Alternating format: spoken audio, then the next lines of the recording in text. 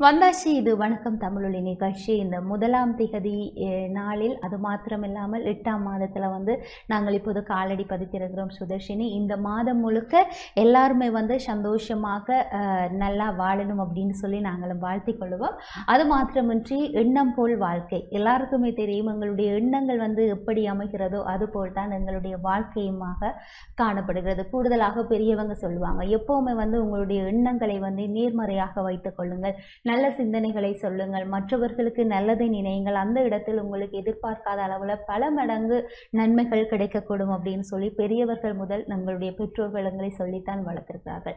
அதுதான். எப்பவுமே வந்து மற்றவர்களை பார்த்து நாங்கள் அஹ், என்னடா இவர்கள் இப்படி வாழ்கிறார்கள்? ஆனால் நான் மட்டும் இப்படி எப்பவுமே வந்து நான் தாழ்ந்து கொண்டே போகின்றேன் என்று சொல்லி ஒரு சில பேர் யோசிப்பாங்க.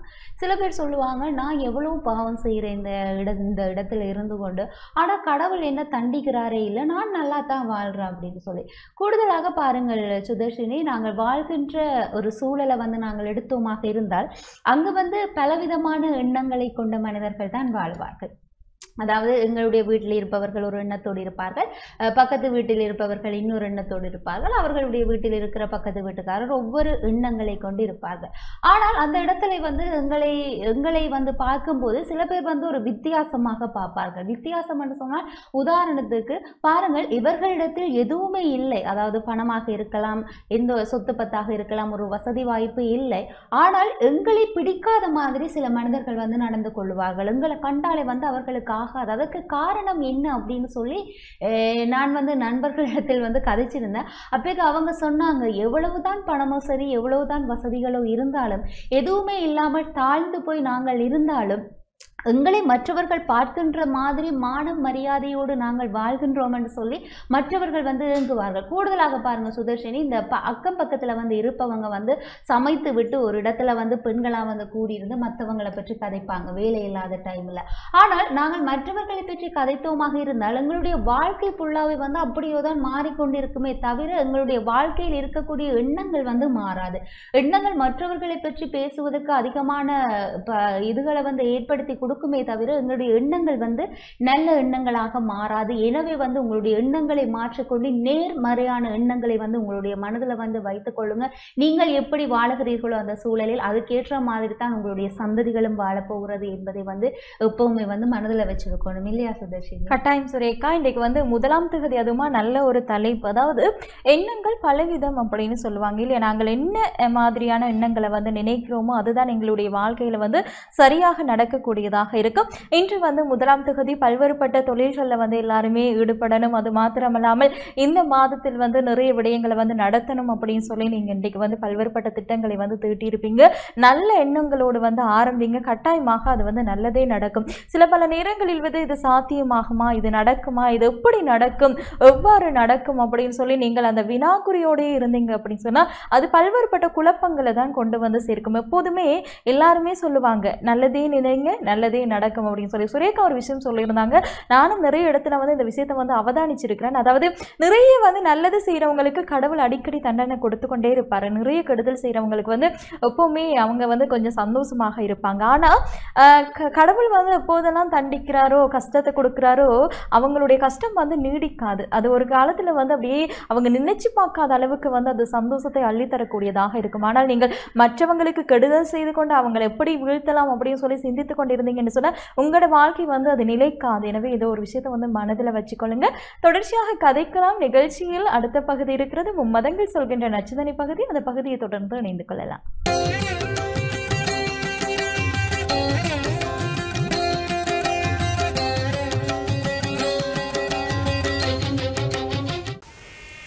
ஓம். சர்வமங்கள மாங்கல்யே சிவே சர்வார்த்த சாதகே. சரண்யே திரியம்பகே கௌரி. நாராயணி நமோஸ்துதே ஓம் நமச்சிவாய மேன்மைகள் சைவ நீதி விளங்குக உலகமெல்லாம். நோயற்ற வாழ்வே குறைவற்ற செல்வம். அந்த நோய் நொடியில்லாத வாழ்வு உலக மக்கள் எல்லோரும் வாழ வேண்டும். கலியுகத்தின் காந்தமலை ஜோதியாகிய சபரிமலை சுவாமி ஐயப்பனுடைய திருவடிகளை சிறந்தாழ்த்தி டேன் தமிழொழி ஓம் தொலைக்காட்சி நேயர்கள் அனைவருக்கும் சர்வதேச இந்து மத குருபீடம் அகில இலங்கை சபரிமலை ஸ்ரீ சாஸ்தாபுலத்தின் சார்பில் இனிய வணக்கங்களும் நல்லாசிகளும் இன்றைய பொழுதும் நமக்கு நல்ல பொழுதாக அமைய வேண்டும் என்று நாம் இறைவனை பிரார்த்தித்து இந்த ஆடி மாதத்திலே பல்வேறு சிறப்புகளை பற்றி சிந்தித்து வருகிறோம். இதில் இந்த ஆடி மாதத்திலே பதினெட்டாம் நாள் ஆடி மாதம் தமிழுக்கு பதினெட்டாம் நாள். ஆடி பெருக்கு என்று கூறப்படுவது. சிறப்பாக இது காவேரி திருவிழா என்று தமிழ்நாட்டிலே திருச்சியிலே அந்த காவேரி கரையிலே பெரிய ஒரு கொண்டாட்டமாக நடைபெறும். அதாவது இயற்கையோடு ஒட்டியதாக ஒவ்வொரு மனிதனுடைய வாழ்விலும் இந்த பஞ்சபூதங்கள் என்கின்ற பிருதிவி அப்பு தேயு வாயு ஆகாசம். நிலம் நீர் நெருப்பு காற்று வெளி என்கிற இந்த பஞ்சபூதங்களுக்குள்ளே இந்த நீர் மனிதன் உயிர் வாழ்வதற்கு அத்தியாவசியமாக இருப்பது. அந்த நீரை கங்காதேவியாக யமுனையாக காவேரியாக வழிபாடு செய்வது. கங்கே ஜமுனே செய்வ கோதாவரி சரஸ்வதி நர்மதா சிந்து காவேரி என்கின்ற வகையிலே இந்த தண்ணீரை வழிபாடு செய்வது. அதனாலே தான் தாயை பழித்தாலும் தண்ணீரை பழிக்காதே என்பார்கள். ஒரு பழமொழி சொல்வார்கள். தாயை கூட வேணால் நீ பழிச்சிடு அவள் மன்னிச்சிடுவாள் தண்ணீரை பழிக்காதே. தாயை பழித்தாலும் தண்ணீரை பழிக்காதே. அவ்வாறு ஒவ்வொரு மனிதனும் ஒவ்வொரு ஜீவராசிகளும் ஒவ்வொரு தாவரங்களும் உயிர் வாழ்வதற்கு இந்த ஜலம் என்கின்ற தண்ணீர் மிக முக்கியம். அந்த தண்ணீருக்கு நன்றிக்கடன் செலுத்துகின்ற வகையிலே இந்த சாக்ஷாத் மகாவிஷ்ணுவே இந்த கங்காதேவிக்கு வந்து அவருக்கு சீர்வரிசை செய்ததாக முன்னைய காலத்திலே இவற்றையெல்லாம் சிறப்பாக செய்திருந்தால் இன்றும் அது தமிழகத்திலே நடைபெறுகிறது. இந்த காவேரி ஆற்றிலே அங்கிருந்து பெருமாள் வந்து பட்டுப்புடவை மாங்கல்யம் மஞ்சள் நூல்கள் கருகுமணி காதோலை இவையெல்லாம் கொண்டு வந்து ஆற்றுக்கு பூஜை செய்து அங்கே மஞ்சளினாலே அபிஷேகம் செய்து பாலினாலே அபிஷேகம் செய்து அந்த ஆற்றிலே அந்த பட்டி சேலையோடு இந்த மாங்கல்யம் வளையல் கருகுமணி காதோலை இவையெல்லாம் அங்கே ஆற்றிலே விடுவார்கள். அந்த வழக்கம். அதே போல் இந்த ஆடி பதினெட்டாம் பெருக்கென்பது அந்த பிரார்த்தனைகள் மூலமாக நாம் ஒரு பாத்திரத்திலே நம்முடைய சாமி அறையிலே கூட நம்ம ஆற்றுக்கு குளத்துக்கு போய் வழங்க முடியாது. நம் வீட் அல்லது நம்ம வீட்டிலே கிணறு இது வசதியில் உள்ளவர்கள் கிணற்றினிலே அந்த கிணற்றை சுற்றி மஞ்சள் தண்ணி தெளித்து கிணற்றிலே கொஞ்சம் மஞ்சள் ஊற்றி பால் ஊற்றி மஞ்சள் போட்டு புஷ்பங்களாலே அலங்காரம் பண்ணி ஒரு பிரார்த்தனை செய்கின்ற பொழுது நிச்சயமாக இந்த பதினெட்டாம் பெருக்கு என்பது இந்த காவேரி பெருக்கெடுத்து வருமாம். அதில் என்ன காரியங்களை எதனை நாம் செய்தாலும் அது பெருகிக் கொண்டே செல்லும் என்கின்ற ஒரு ஐதீகம் முன்னைய காலத்தில் இருந்தது. அதனாலே தான் இந்த புதுமண தம்பதிகளை கூட அந்த தாலி கயிறு மாற்றிக்கொள்வது தீர்க்க சுமங்கலியாக அவள் வாழ வேண்டும் என்பதற்காக இந்த ஆடி பதினெட்டாம் பெருக்கிலே அந்த தாலி கோர்க்கப்பட்டிருக்கின்ற மஞ்சள் கழித்து அன்றைய தினத்திலே மாற்றிக்கொள்வார்கள். அது அந்த ஆற்றங்கரையில் இருந்து பூஜிக்கப்பட்டு ஐந்து வகையான சாதங்கள் எல்லாம் வைத்து சித்திராண்ணம் என்கின்ற வகையிலே புளியோதரை அதேபோல் சர்க்கரை சாதம் பருப்பு சாதம் தேங்காய் சாதம் குளையல் சாதம் என்கின்ற ஐந்து வகை சாதங்களோடு அங்கே அந்த படையலெல்லாம் படைத்து காவேரியை வேண்டி பிரார்த்தனை செய்கின்ற பொழுது தீக்க சுமங்கலியாக வாழ்வாள் என்பதற்காகத்தான் அந்த தாலி கயிற்றை மாற்றி கட்டிக்கொள்வார்கள். இந்த வழக்கமெல்லாம் இப்பொழுது மருவிக்கொண்டே போகிறது. ஒரு சில இடங்களிலே மட்டும்தான் செய்கின்றார்கள். நாம் பழமையெல்லாம் நாம் மறந்து புதுமை நாகரிகத்துக்குள்ளே போனதினாலே தான் இவ்வாறு இப்பொழுது இந்த நோய் பரவலினாலே நாம் பல்வேறு கஷ்டங்களை எல்லாம் அனுபவித்துக் கொண்டிருக்கிறோம். இவையெல்லாம் மறந்து நாம் இறை பிரார்த்தனை ஈடுபட்டு நம் முன்னோர்கள் சொன்ன வழியை நாம் கடைப்பிடித்து வாழ்கின்ற பொழுது நிச்சயமாக நம்முடைய வாழ்வு சந்தோஷமானதாக ஆனந்தமான இயல்பு வாழ்வுக்கு வருவதற்கு இறையருளும் குருவருளும் பூர்ணமாக கிடைக்க வேண்டும் என்று பிரார்த்தித்து டேன் தமிழொலி ஓம் தொலைக்காட்சி நேயர்கள் அனைவருக்கும் சர்வதேச இந்து மத குருபீடம் அகில இலங்கை சபரிமலை சாஸ்தாபீடத்தின் சார்பில் நல்ல ஆசிகளை கூறிக்கொள்வதில் மனமகிழ்வு கொள்கிறோம். சர்வே ஜனாக சிக்கினோம் பவந்து. சமஸ்த சன்மங்களானி சந்து. சுபம்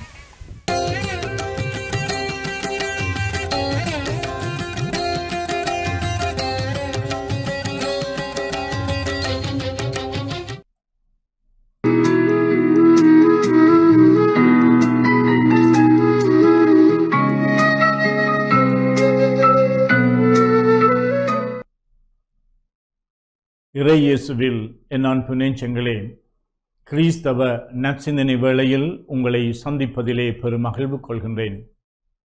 ஆண்டவர் இயேசுவினுடைய அழகான மழை பொழிவு போதனையிலே அவர் பல நல்ல விடயங்களை முன்வைக்கின்றார். அதிலே ஒன்று அயலவர்கள் அடுத்தவர்கள் வளமையாக அவர்களிடமிருந்து நாங்கள் எதிர்பார்க்கின்றோம். ஆனால் நாங்கள் அவர்களுக்கு என்ன செய்கின்றோம்? இந்த ரீதியாக இயேசு பேசுகின்றார்.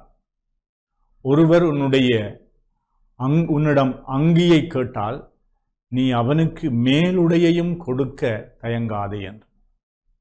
உன்னை பார்த்து ஒருவர் ஒரு கல் தொலைவு நடக்க இணைந்து நடப்பதற்கு கேட்டால் நீ இரண்டு கல் தொலைவு நடக்க தயாராக இரு என்று சொல்லி. உங்களிடம் கேட்பவர்களுக்கு கொடுங்கள் என்று கூறுகின்றார்.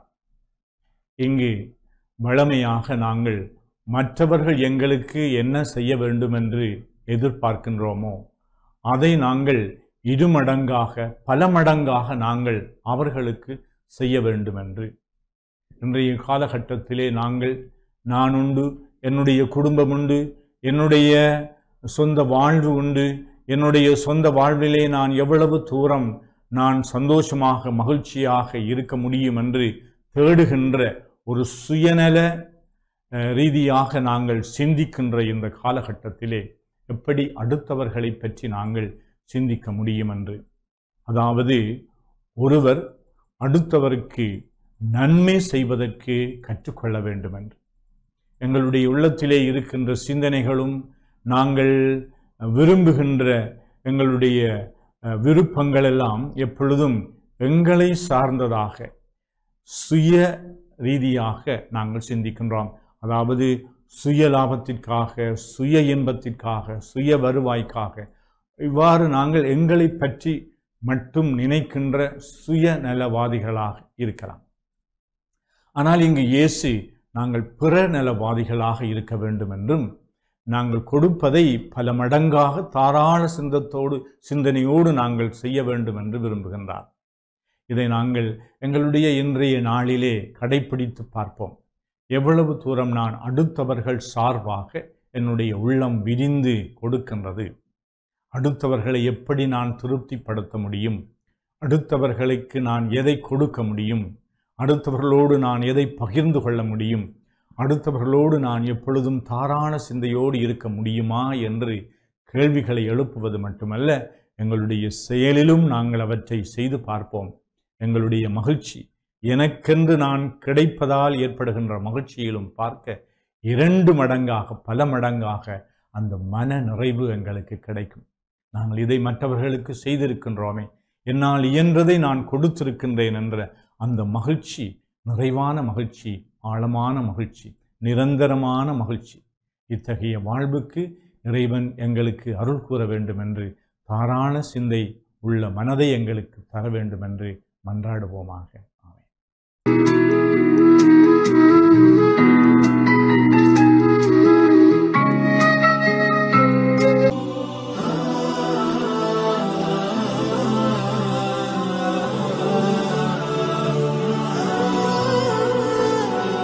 பிஸ்மில்லாஹி ரஹ்மான் ரஹீம் இஸ்லாமிய நற்சிந்தனையோடு இணைந்திருக்கக்கூடிய பார்வையாளர்கள் அனைவருக்கும் அஸ்ஸலாமு அலைக்கும் வரஹமத்துல்லாஹி வபரகாத்துஹு. இன்றைய நற்சிந்தனையில் இஸ்லாம் மார்க்கம் ஒரு முழுமையான வாழ்க்கை திட்டத்தை மனித சமூகத்திற்கு அறிமுகப்படுத்தி உள்ளது என்பதை தொட்டு காட்டலாம் என்று ஆசைப்படுகின்றேன். புனித தீனுல் இஸ்லாத்தை பொறுத்தவரைக்கும் ஒரு மனிதனுடைய வாழ்க்கையை முழுமையாக நெறிப்படுத்தக்கூடிய போதனைகளை உள்ளடக்கிய ஒரு மார்க்கமாகும். இந்த உலகத்திலே தோன்றிய அறிமுகம் செய்யப்பட்ட இந்த தீனுல் இஸ்லாத்தை பொறுத்தவரைக்கும் ஒரு மனிதனுடைய தனிப்பட்ட வாழ்க்கை குடும்ப வாழ்க்கை சமூக வாழ்க்கை அரசியல் வாழ்க்கை அனைத்தையும் நெறிப்படுத்தக்கூடிய வழிகாட்டல்களையும் அறிவுரைகளையும் ஆலோசனைகளையும் எங்களுக்கு முழுமையாக சொல்லியிருக்கின்றது. நபிகளார் சல்லல்லாஹு அலைஸ்லம் அவர்கள் இந்த உலகத்திலே அல்லாவுடைய இறுதி தூதராக வந்துதித்தார்கள். அவர்கள் வந்து தன்னுடைய நடைமுறை வாழ்க்கையினூடாக அறிவுரைகளினூடாக ஆன்மீக உபதேசங்களினூடாக தன்னுடைய தோழர்களை நெறிப்படுத்தினார்கள். இந்த உலகத்திலே மனிதன் எப்படி மனிதனாக வாழ வேண்டும் என்பதை மிகச்சிறப்பாக தனது அன்பான அறிவுரைகளின் மூலம் அந்த சஹாபாக்களை வழிநடாத்தினார்கள். அவர்களை நெறிப்படுத்தினார்கள். மனிதனை கொலை செய்து மனித மண்டையோட்டில் மது அருந்தக்கூடிய கலாச்சாரத்தில் மூழ்கியிருந்த அந்த மக்களை மனிதாபிமானமுள்ள மக்களாக மனித நேயத்தோடும் மனித வாஞ்சையோடும் இந்த உலகத்திலே வாழக்கூடிய மிகச்சிறந்த உத்தமர்களாக மாற்றிய அந்த பெருமை தீனுல் இஸ்லாத்துக்கு இருக்கின்றது. எந்த அளவுக்கென்றால் இந்த உலகத்திலே ஒரு மனிதன் சந்திக்கக்கூடிய பிரச்சனைகள் ஒரு மனிதனுடைய சிக்கல்களுக்கு தீர்வுகளை முழுமையாக இந்த மார்க்கம் சொல்லிக் கொடுக்கின்றது. அதே போன்று இந்த உலகத்திலே மனித சமூகத்திற்கு எதுவெல்லாம் நன்மை பயக்குமோ அந்த விடயங்களை எல்லாம் தேடி தேடி அல்லாவின் தூதர் சல்லல்லாஹு அலிஸ்லம் அவர்கள் மனித சமூகத்திற்கு கற்றுக் கொடுத்தார்கள். எதுவெல்லாம் இந்த உலகத்தில் மனித சமூகத்திற்கு கேடு விளைவிக்குமோ தீங்கு ஏற்படுத்துமோ அந்த விடயங்களை எல்லாம் தேடி தேடி அல்லாவின் தூதர் சல்லல்லாஹ் அலிஸ்லம் அவர்கள் மனித சமூகத்திற்கு எச்சரிக்கை செய்தார்கள். எனவே இந்த உலகத்திலே சஹாபாக்களுக்கு அறிவுரைகளை நபிகளார் சல்லல்லாஹு அலிஸ்லம் அவர்கள் எப்படியெல்லாம் தேடி தேடி கற்றுக் கொடுத்தார்கள் என்பதைத்தான் அபூதர் அல் ஹிஃபாரி ரதையல்லான் அவர்கள் மிக தெளிவாக சொல்கின்றார்கள் எப்படி? ரசூலுல்லாய் சல்லல்லாஹு அலிஸ்லம் அவர்கள் எங்களுக்கு எல்லா விடயங்களையும் கற்றுத்தந்தார்கள். எந்த அளவுக்கென்றால் வானத்தில் ஒரு பறவை சிறகடித்து பறந்தால் அதிலிருந்தும் ஒரு செய்தியை நமக்கு நபிகளார் கற்றுத்தருவார்கள் என்று சொல்லுகின்ற அளவுக்கு மிக தெளிவான அறிவுரைகளை நபிகளார் சல்லல்லாஹ் அலிஸ்லம் அவர்கள் தோழர்களுக்கு சொல்லி சொல்லிக் கொடுத்தார்கள். அதே போன்று ஒரு முறை சல்மான் அல் ஃபாரிசி ரதியல்லான் அவர்களிடத்திலே ஒரு மனிதர் வந்து கேட்கின்றார் உங்களுடைய தூதர் உங்களுக்கு மலசலம் கழிக்கின்ற பொழுது கூட பேண வேண்டிய ஒழுங்குகளை எல்லாம் கற்றுத்தந்திருக்கின்றாமே என்று கேட்ட பொழுது அவர் மிகவும் அழுத்தமாக சொல்லுகின்றார். ஆம் நாங்கள் மலசலம் கழிக்கின்ற பொழுது வலது கையால் சுத்தம் செய்யக்கூடாது விட்டைகளையும் எலும்புகளையும் கொண்டு சுத்தம் செய்யக்கூடாது கிபுலாவை நாங்கள் முன்னோக்கி சுத்தம் செய்ய மலசலம் கழிக்கக்கூடாது அதே போன்று வெட்ட வெளியில் நாங்கள் மலசலம் கழிக்கக்கூடாது. மறைத்து நாங்கள் அந்த தேவையை நிறைவேற்ற வேண்டும். இப்படியான ஒழுங்குகளை எல்லாம் இப்படியான வழிகாட்டல்களை எல்லாம் எங்களுடைய தூதர் சல்லல்லாஹ் அவர்கள் எங்களுக்கு கற்றுத்தந்தார்கள் என்று சொல்லுகின்றார்கள். எனவே இந்த அளவுக்கு மனித சமூகத்திற்கு மிக தெளிவான அறிவுரைகளையும் மனித சமூகத்திற்கு நன்மை பயக்கக்கூடிய காரியங்களையும் தேடி தேடி அல்லாவின் தூதர் சல்லல்லாஹ் அவர்கள் தன்னுடைய தோழர்களுக்கு கற்றுக் கொடுத்தார்கள் என்றால் அப்படிப்பட்ட ஒரு முழுமையான வாழ்க்கை திட்டமாகத்தான் இந்த தீனுல் இஸ்லாம் இந்த மண்ணில் அறிமுகம் செய்யப்பட்டது என்ற அந்த வரலாறை நாங்கள் மறந்துவிட முடியாது. எனவே ஒரு மனிதன் தன்னுடைய வணக்க வழிபாடுகளாக இருக்கலாம் அதே போன்று திருமணவியலாக இருக்கலாம் கொடுக்கல் வாங்கலாக இருக்கலாம் அதே போன்று குற்றவியல் சட்டங்களாக இருக்கலாம் எல்லா விடயங்களிலும் ஒரு மனிதன் சந்திக்கக்கூடிய பிரச்சனைகளுக்கு மார்க்கம் தீர்வு சொல்கின்றது.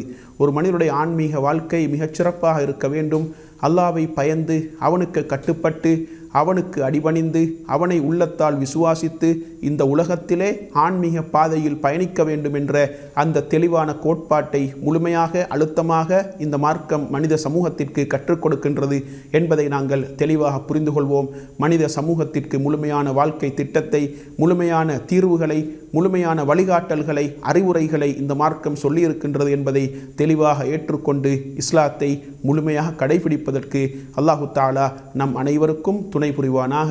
வாஹிர் தாவானா அனில் அஹமதுல்லாஹி رب العالمین۔